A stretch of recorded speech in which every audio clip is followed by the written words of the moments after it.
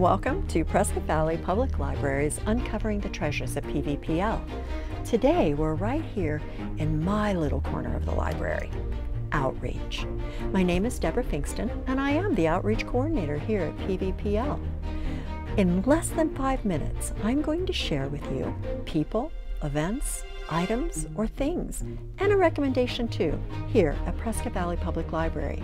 Today, we're going to be talking about outreach. What is outreach services? Well, that's where the Prescott Valley Public Library gets out into the community. I'll come out to you. And one of the ways we do that is books by mail. We use these bright orange canvas bags. I will fill them up with books, large print, or audiobooks, and mail them straight to your house.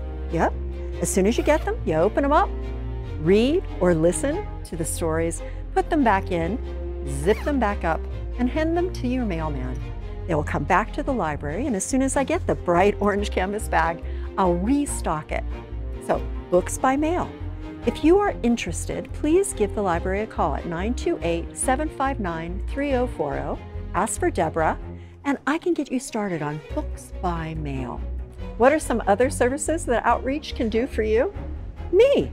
I can come out to your home, your community center, your place of work. I can do book lectures. I can do in-depth studies on books or items here in the library. I can do a presentation on some of our events. I can even lead a book club. Another outreach service is Arizona Talking Library. If you have some physical challenges or visual challenges and can no longer read a book, Arizona Talking Library has thousands of books, newspapers, and magazines ready for you. All you have to do is call 928 759 3040 and we can fill out the application for you. They'll contact you and you can get started on the services of Arizona Talking Library. Do you know about the Newbery Medal? Well, John Newbery Medal is given to books and literature that have a distinguished contribution to children's literature. Right now, in Prescott Valley Public Library's Children's Department, we have over 173 Newbery Medal award-winning books on our shelves. One of my favorites is an old one, but a good one, and it's Mrs. Frisby and the Rats of Newf. Now, Mrs. Frisby is a mouse who is a widow mouse, and she has four children. Her son Timothy is special needs. She has to move from her winter home to her summer home, and that's pretty hard. So where does she go? She goes to the rats on the farm. But now these are some special rats that are different.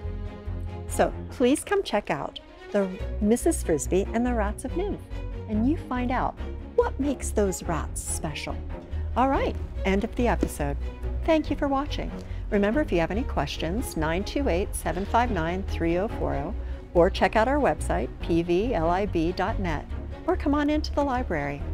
Thank you for watching, and see you again on Uncovering the Treasures at PVPL. Bye!